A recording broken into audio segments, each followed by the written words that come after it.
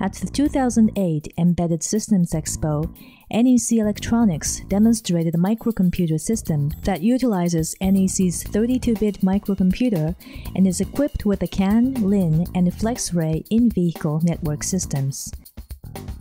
Vehicles these days are equipped with multiple computer systems for vehicle control called electronic control units or ECUs, and the communication network used to exchange information between these ECUs is called the in-vehicle network system. Among the X-by-wire systems being examined for use in next-generation vehicles, the FlexRay Vehicle Network Communications Protocol is the front runner. 先日あの弊社の方から、えー、そのフレックスレイに関しましてはフレックスレイコントローラーを内蔵したマイコン およびそのフレックスレイのトランシーバーといったものを発表させていただきましたが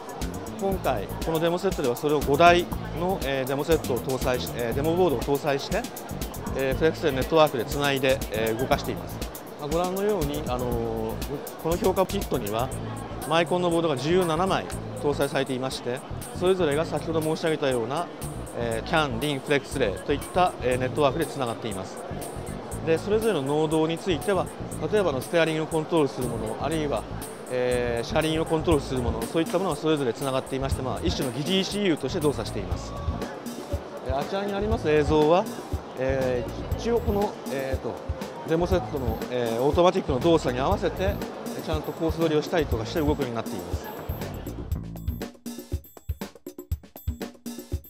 Digging for news.